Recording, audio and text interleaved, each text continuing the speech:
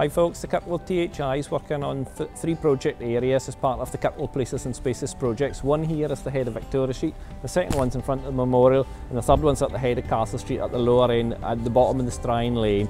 Uh, and we'd like to invite you all to come along to the public consultation events to give your views where we'll, plans will be on show and it'll be an opportunity to give your thoughts and ideas on, on our proposal. Here we are at the War Memorial and one of the project ideas is to put a path in here from the steps down there to the wall, War Memorial behind me. So the idea is to put the, widen the pathway along the cemetery wall. Currently at the moment it's quite narrow um, so the idea is to make it a little bit wider and maybe put in some extra benches. The whole idea is to help create uh, this area as a place for quiet reflection and easier access to the cathedral.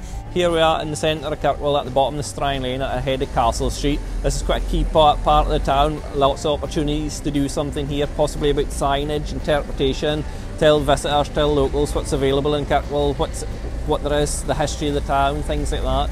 Also, it's about trying to connect up this part of the town with Broad Street. Perhaps you could do something with the crossing make it easier for people to move around. Here we are at the head of Victoria Street. The aim to alter on the head of Victoria Street here is to try and create a nice, attractive area that will encourage people to go down into Victoria Street, but also providing a better connection between the Orkney Museum here, the cathedral over there, and Earl's Palace up the road. And as part of this, the idea is to try and create a better balance between people and traffic, whilst also retaining the car parking.